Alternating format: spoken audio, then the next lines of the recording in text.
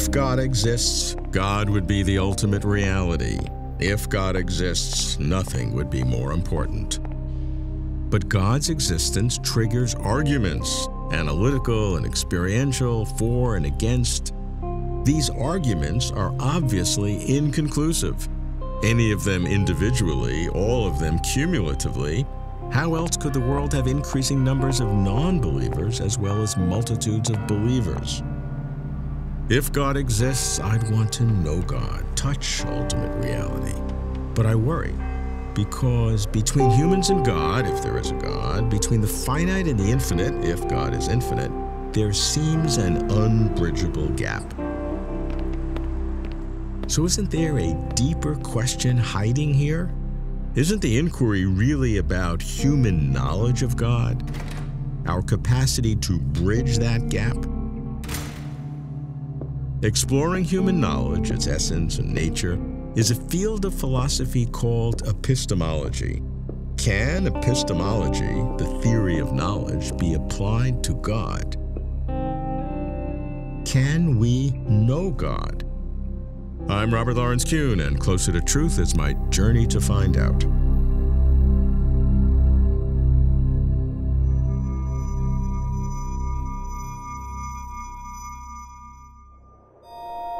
When I think about knowing God, I can get confused. Knowing what about God? I'm confronted by at least three meanings. One, does God exist? Two, if God exists, what is God like? Three, if God exists, can I have a personal relationship with God? But each of these three meanings boomerangs back to epistemology, how could it be that my normal, human thought, awareness, perception, cognition, emotion could know God? I begin with basics, applying epistemology to knowing God. That's why I go to Notre Dame to meet a philosopher who works in philosophy of religion and specializes in epistemology, Robert Audi. Robert, the question of whether God exists, what God is like, what can we learn from epistemology that can help us discern this question? The first thing to say is that we can be talking about God as a personal figure known through, let's say, the Bible. But we can also be talking about God as the God of perfect being theology, the mm-hmm. God of the philosophers, if you like, mm-hmm. who is omniscient, omnipotent, perfectly good epistemology is going to take account of what being you're talking about when you ask how we might know. Now, there's knowledge without belief. Think of what you might call a meteorological knee. The knee works like a barometer. When there are objective indications of uh, heavy weather, the person believes there's going to be heavy weather. Perhaps the mechanism is very, very accurate, more accurate than an ordinary barometer, and we find the track record is terrific. But now add something. He forgets that he's been getting it right, but we know his track record. I think we're going to arrive at a position where we will say, ask him, he knows whether it's going to rain. He will be puzzled that he believes it's going to rain, not knowing where the belief comes from the mechanism may evoke the belief rather automatically. Oh. I want to say he could know without being justified. Now, if God is possible, which I take it is clear, and is omnipotent, God could bring it about that some people have knowledge of God that is implanted. My old colleague Al Plantinga spoke of a sensus divinitatis. Yeah. This is a possibility. So that would not be justified. That's the problem. Philosophers and certainly skeptics want more. They hmm. want justification. Yeah. So it's very important to allow the possibility that someone who believes that God exists could know that, but lack justification. And if somebody has knowledge of a kind natural from experience, the complaint should be don't do anything that depends on justification, but not you couldn't possibly know. Eh. Now, justification. Right. You probably want to go to that, don't right, you? right, right. And the concept of basic belief.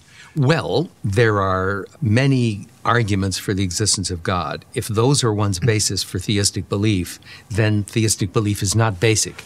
If it comes from a sensus right. divinitatis, right. it may be basic. It may be quasi perceptual in that it comes from experience directly and not from inference. But uh, let's remember that there can be a cumulative case as where someone has a mastery of a multitude of different arguments, each with some weight, even if none is conclusive, mm-hmm. and has had religious experiences.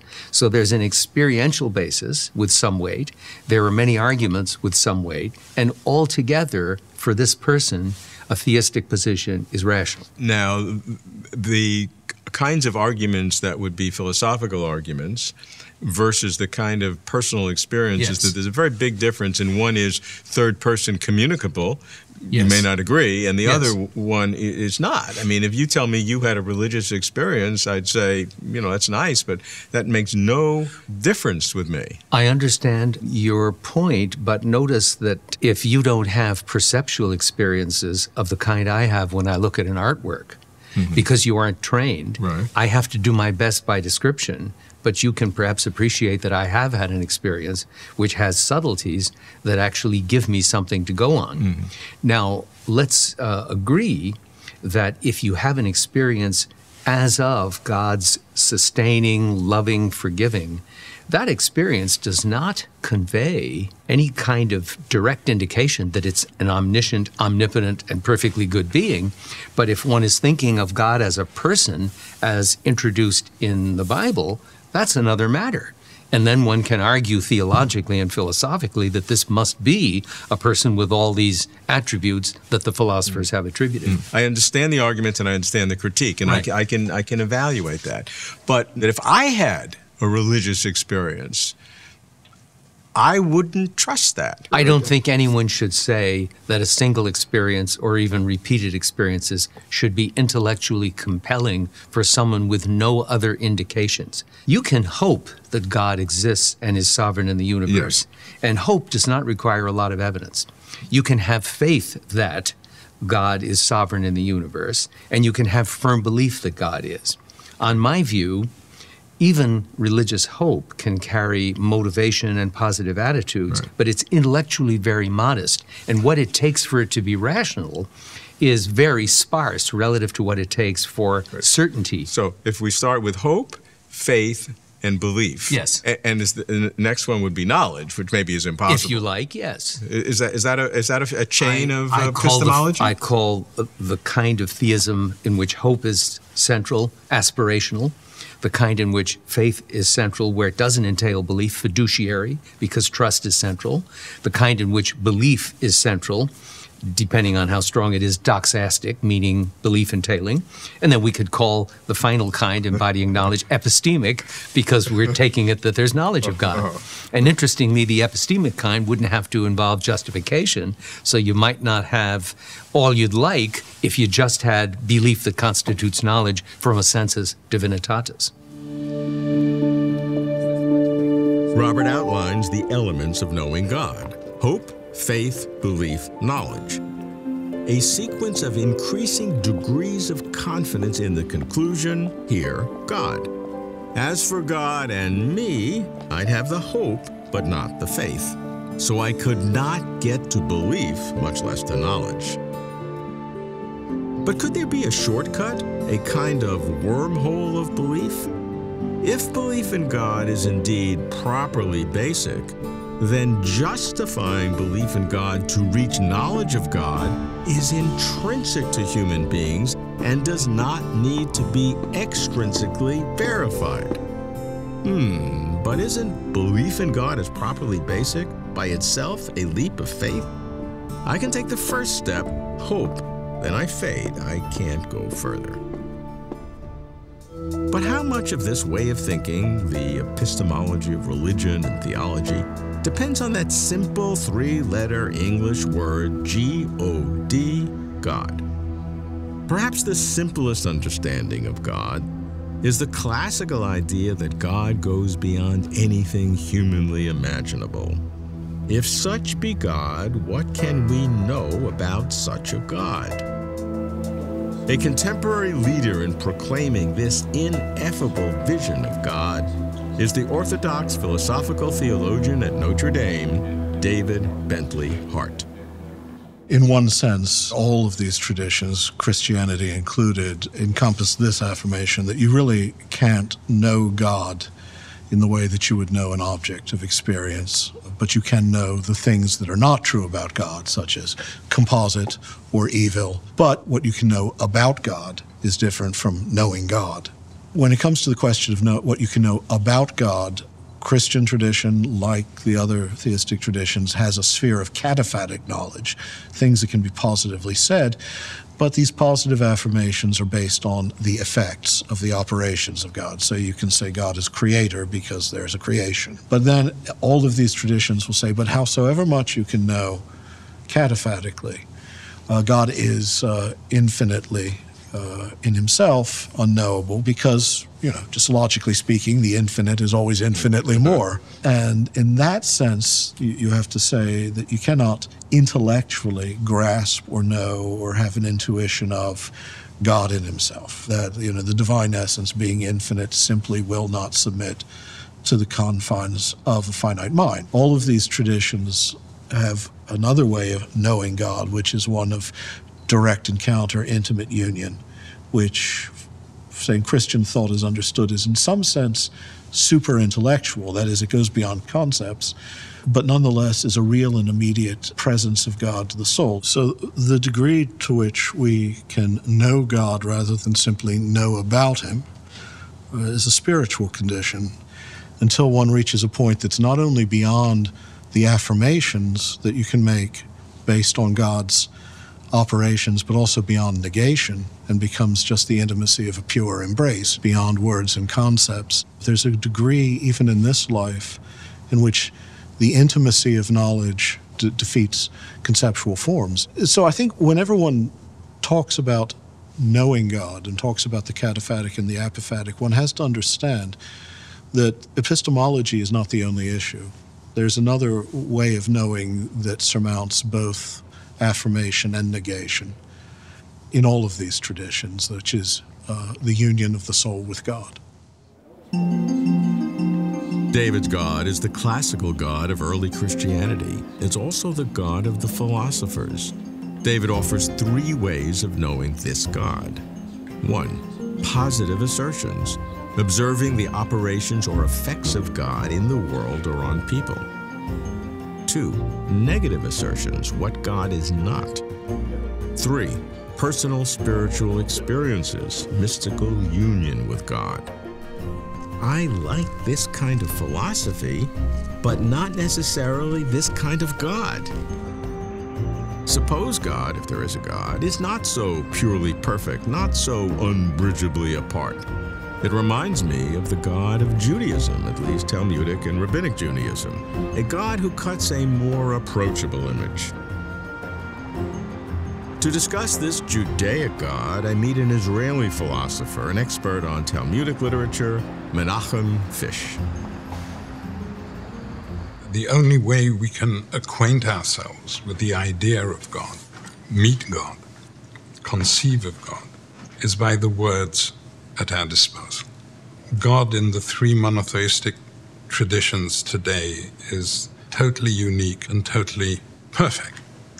And we can wax poetical with, with the words we have. And, and artists imagine, and poets imagine, and theologians imagine. And we read our scriptures and understand mm. what we understand, always by means of the vocabulary at our disposal. This is disconcerting for some people. Maimonides, for example, knew this very well that the only way humans can know anything is by conceptualization. He therefore viewed saying anything, attributing anything to God, not, not merely an image, a bodily image, attributing agency, attributing a will, attributing a thought, is idolatrous in the extreme because we're likening to others. That is mm. a, a, profound violation of God's uniqueness and God's perfection. But for a religion who believes in, in a God created universe, who believes in this or that degree of divine providence, who believes mm. in that or that degree of divine retribution, who stands in prayer before a God. That is not enough. Maimonides took his theology to the extreme of banishing all God talk from the religion and all divine presence. I mean, it's not merely he created the world, but we're not allowed to say it. No, you, you, in the most profound sense of the term, you are not allowed to attribute to him an action, agency. Not everybody is as extreme as Maimonides, but Maimonides gives us a good sense of what a serious, intellectually honest, deeply religious theology would look like if you take that notion of perfection as the basis. Talmudic Judaism contains a voice that denies divine perfection. It doesn't deny that God is the creator of the world, that entered a covenant with us, that gave us the Torah, gave us the law, and that we entered into a covenantal, intimate, deep, religiously meaningful relationship. But it denies his perfection, especially moral perfection, as it denies the moral perfection of Scripture, of the moral perfection of the law, and the moral perfection of the institutions of the law. And here I've counted all four sources of religious authority of rabbinic Judaism. Now, if this is your view, these denials do not constitute or are not pressed into the service of subverting religion. No. It defines what religious faithfulness and obligation is. From that point of view, given the imperfect system, entering the covenantal relationship is to help it improve itself. And therefore, your religious duty is to do your best to troubleshoot and confront and criticize and to argue against when you think it's wrong. That doesn't mean that you're right all the time, but it's an argumentative, critical, and therefore rational enterprise. In essence, uh, uh, humans are co creators with God, can help God improve God's own self. Not only God's own self, God's Torah, okay, okay and the world. And, and the beauty of this voice is that God speaks back. He welcomes this as a profound dispute of religiosity within that canon, because the voice of religious submission and divine perfection and scriptural perfection is alive and kicking there. But this other voice, which I think is also dominant, is alive as well. So the Talmudic canon is a canon divided as to its own very project, if you wish. And this voice of confrontation has God requiring, demanding critique. And he's, he's actually described as sacking Elijah. He's the only prophet who God commands to anoint his successor because I can't do with the S men. I need someone to, to talk back. So, within that form of religiosity, Prayer looks very different, prophecy looks very different, human religious obligation looks very different. And then how do we know God is a slightly easier task, I'd say, than within a Maimonidean framework. Menachem's God of Judaism is certainly more human and seems easier to get to know. But already I hear the charges of anthropomorphism, humans creating God in humans' own image charges that I cannot easily refute. Nor could I strenuously deny that a more human God seems to reflect a more primitive religion, a pre philosophical way of thinking. Nonetheless, I find myself attracted to such a human like God. It's how I'd hope reality to be less stern, more engaging, a closer connection between the human and the divine. But my inquiry is not about what I might find pleasing as traits of God. It's about really knowing God. And I fear I have so far omitted a critical way of thinking. How does what I know relate to what really is? Some philosophers deny that we can ever access underlying realities, even though we measure data and discover laws. Can such a philosopher, called a strict empiricist or anti realist, also believe in God? I know just whom to ask the Dutch American philosopher of science, Bas van Fraassen. Bas, if we take epistemology and apply it to God, particularly from your remarkably dual positions as a philosopher of science who is an anti realist in, in analyzing the scientific world, and yet as a devout believer in God, what can you say philosophically about how we can know God if there is a God?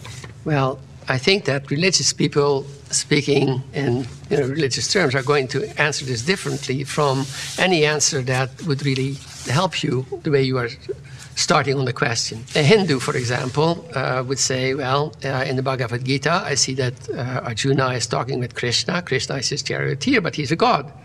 So obviously it's possible to know God. And the Christian will say, yeah, well, Jesus was the Christ. Jesus is one person in the Trinity many people knew Jesus and talked with him, so they knew God, so it's possible to know God, right?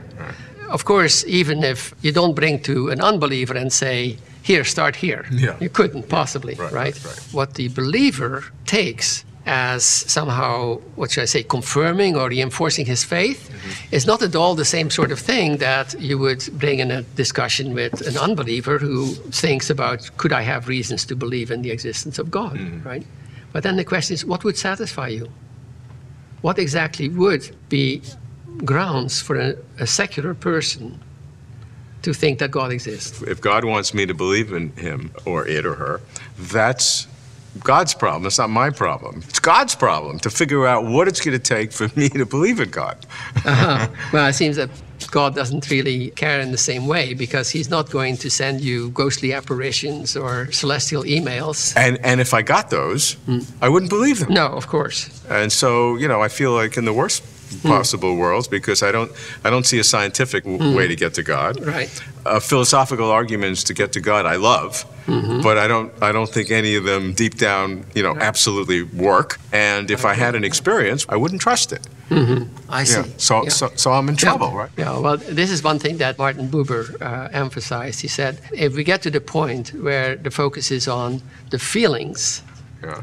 Then we've already lost God. Then we're already no longer talking about God. I don't have any faith in arguments for the existence of God and in, or in any theodicy.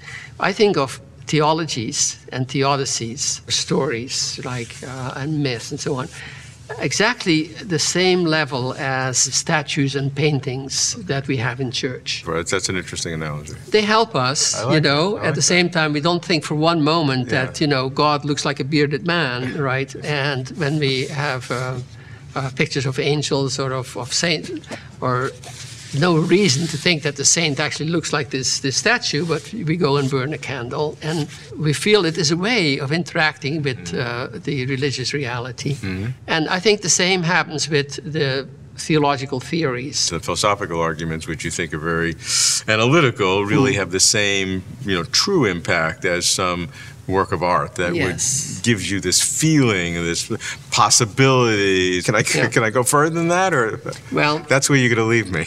um, yeah, probably. I mean, you said it's God's problem. Yeah, yeah. Well, yeah. We also believe that God does pursue people. We talk about the hound of heaven, and that a person will start talking about his past life and say, oh, there were all these things that were drawing me, that were bringing me, that were pushing me. That I had these experiences. I came to the end of the road. I couldn't go anywhere.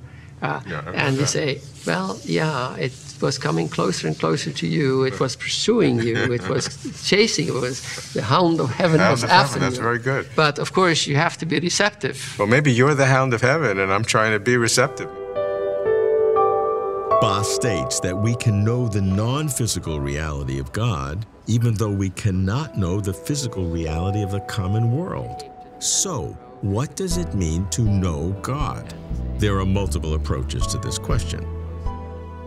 1. The epistemology of religion and theology generates a flow of concepts, from hope to faith to belief to knowledge. But must religious belief be justified, or is it properly basic? 2. God can be known in three ways positively, by observing God's operations, negatively, by discerning what God is not, and mystically, through some kind of direct union. 3.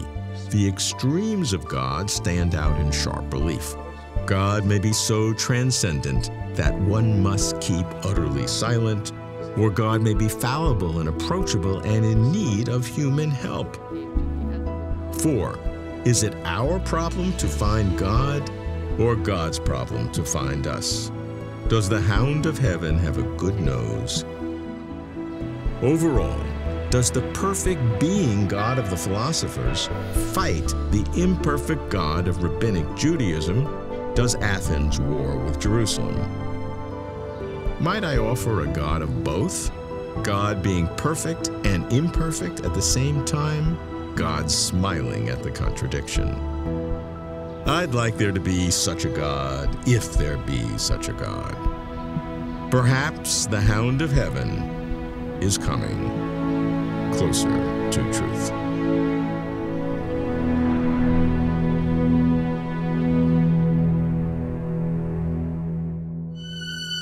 For complete interviews and for further information, please visit closertotruth.com.